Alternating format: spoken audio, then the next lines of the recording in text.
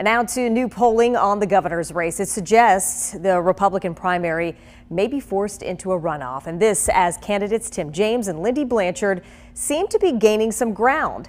WVTM 13's Maddie Davis joins us now live. And Maddie, what is surprising about this polling to you? The polling shows Governor Ivey has a high approval rating. However, based on those surveyed, she isn't reaching the 50% mark needed to become the Republican candidate.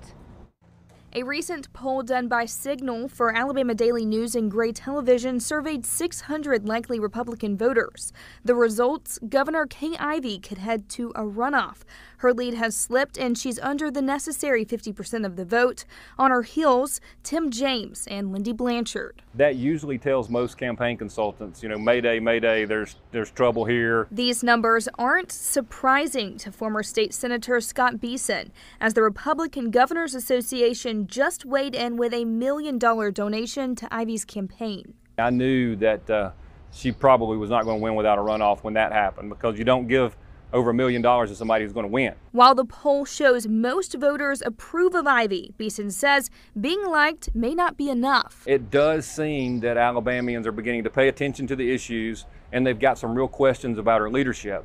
And they can like her personally, but may not choose for her to leave the state in the next four years. Her opponents are attacking her on things like the gas tax and low education rankings. It's hard to be a governor and say you're going to fix things when you've been governor for what almost six years now and things aren't getting better. Beason says it can often be a telltale sign when a well known incumbent doesn't get half the vote that things aren't going to go their way.